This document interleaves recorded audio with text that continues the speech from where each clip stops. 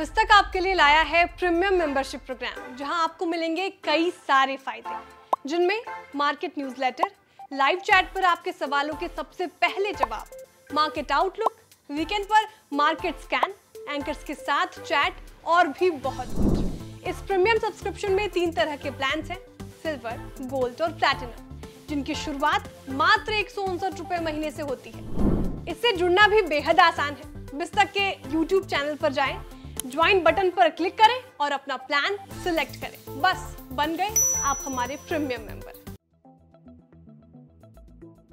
सुबह आँख खुलते ही नज़र व्हाट्सएप पर जाती है और देर रात तक व्हाट्सएप पर मैसेज या कॉल का सिलसिला चलता रहता है।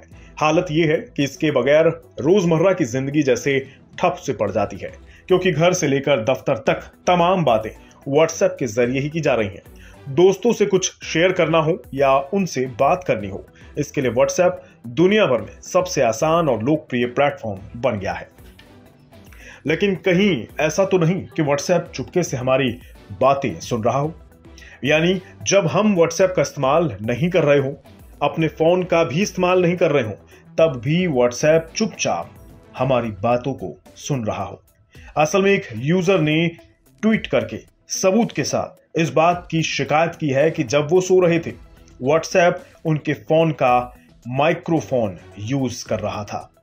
यह आरोप गंभीर है क्योंकि यह हमारी प्राइवेसी से जुड़ा है। पहले आपको बताते हैं कि व्हाट्सएप पर चुपके से बातें सुनने की शिकायत कैसे सामने आई है। ट्विटर में इंजीनियरिंग डायरेक्टर फौद डाबरी ने एक ट्वीट किया और बताया कि जब वो सो रहे थे, तब भी व्हाट्सएप उनके फ़ोन का माइक्रोफोन यूज़ कर रहा था। उन्होंने स्क्रीनशॉट भी शेयर किया, जिससे पता चला कि व्हाट्सएप किस वक्त उनके फ़ोन का माइक्रोफोन यूज़ कर रहा था। इस बात की चर्चा पहले से होती रही है कि गूगल और फेसबुक बैकग्राउंड में हमारी बातें सुनते हैं। यानी जब ये एप्स यूज़ नहीं हो रहे हो, तब भी हमारी बातचीत सुनी जा सकती है। और दलील दी जाती है कि इसलिए हमें ऐसे ऐड दिखते हैं। जिसकी हम चर्चा कर रहे होते हैं। लेकिन बातें सुनने का यही आरोप व्हाट्सएप पर लगा है और वो भी सबूत के साथ। इसलिए दुनिया भर में इसे लेकर चर्चा है। जाने माने उद्योगपति और ट्विटर के मालिक। एलन मस्क ने डाबरी के ट्वीट को रीट्वीट करते हुए लिखा है कि व्हाट्सएप पर यकीन नहीं किया जा सकता। उधर डाबरी का ट्वीट देखते ही देखते वायरल हो गया और करोड़ों लोगों ने उसे देख लिया। इसके बाद व्हाट्सएप की तरफ़ से सफ़ाई आई।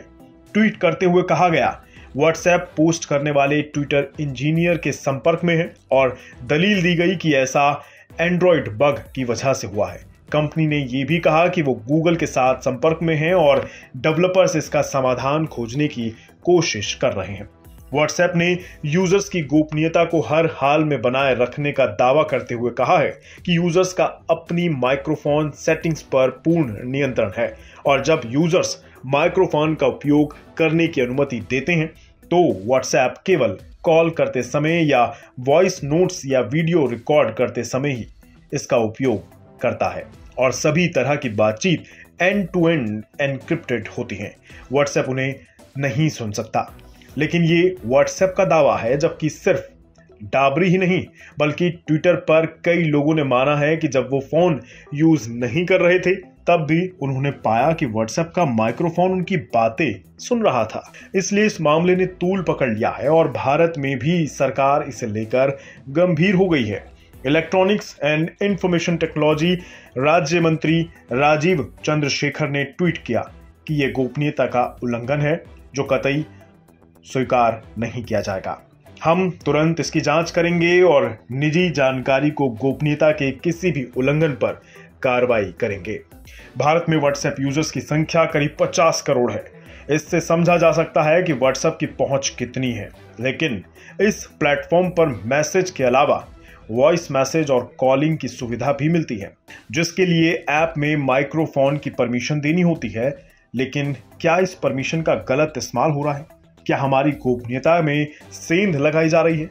ये सवाल गंभीर है, जिसका जवाब जाँच के बाद ही मिलेगा। लेकिन तब तक सावधान और सतर्क रहना ज़रूरी है। दोस्तों और रिश्तेदारों को सावधान करने के लिए हॉर्न बजाना भी ज़रूरी है, इसलिए सावधान रहें।